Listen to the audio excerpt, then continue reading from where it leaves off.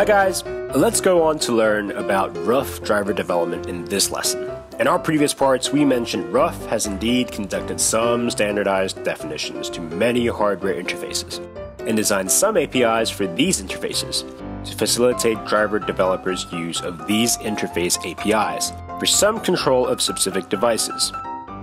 And among all the hardware interfaces, the simplest one is the GPIO interface.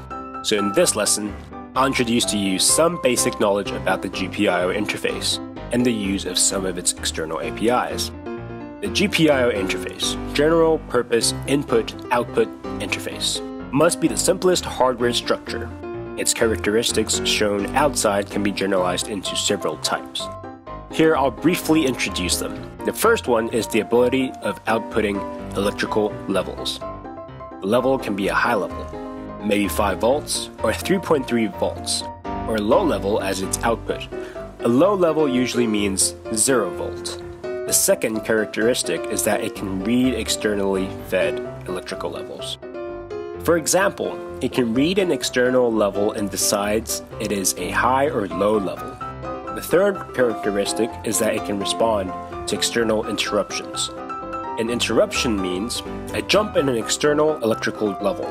Such a jump may be, say, a jump from a high level to a low level, or a jump from a low level to a high level, or whatever a jump in an electrical level occurs. It enters an interruption. We can set all of them up in the API, like the type of external interruption it responds to. Devices adopting GPIO interfaces are quite common, such as an LED or a button module, or a relay module, or a buzzer module. There's so many devices using GPIO interfaces. Next, a Ruff also conducts some abstraction for GPIO capacities. There are two specific main capacities. One is the input capacity, namely input. The other is the output capacity, and the input capacity can be further divided into the following three subcapacities. The first one is the capacity of reading an electrical level. The second is the capacity of responding to external interruptions. And the third is the capacity to set up pull up resistors or pull down resistors, or the state of floating. There's one major subcapacity of the output capacity, namely, externally output in an interface electrical level. With this GPIO capacity, it must correspond to its API. Here, let me briefly introduce to you APIs of GPIO. And these APIs are categorized according to capacities.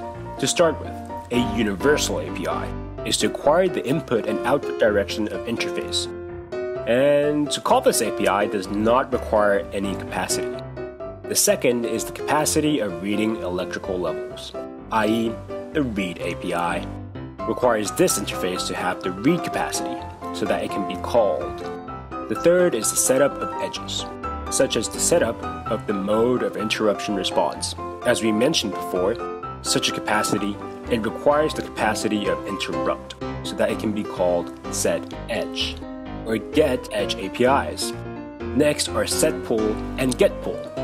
Also similarly, the interface must have the capacity of pull so that it can call these two APIs. Next are write, set active low, and get active low, these three APIs. The precondition of calling these three APIs is the capacity of write. The first write is actually quite easy to understand. It is to set up whether the external output level is a high or low level. Active low actually means whether the reversion is needed when I output an electrical level. That's to say, when this active low is set up to be true, if I externally output a high level, the final output is a low level, since I set up a logic of its reversion here. The last one is the setup of direction. Well, which capacities should GPIO have in order to set up the direction? Only when it has the capacities of writing and reading can the direction be set up. Otherwise, this direction is fixed. For example, this GPIO only has the capacity of reading or writing, and its direction is fixed, either input or output. Then it's about the application for GPIO interfaces. As mentioned earlier, there is a driver.json under the driver directory. It describes the hardware interface of entire device that I apply for being used in drivers. Driver.json has three main fields, namely type. And this type describes the type of interface, for example, whether I can use an interface of GPIO or an I2C interface of inputs. Next one is features. It needs to describe the capacities that the GPIO I apply for should have. For example, my driver here is an LED light, and it only needs a writing capacity. So here, for features we need write, output write, such a field.